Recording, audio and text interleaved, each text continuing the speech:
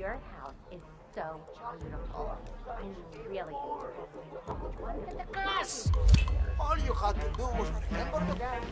It's affordable.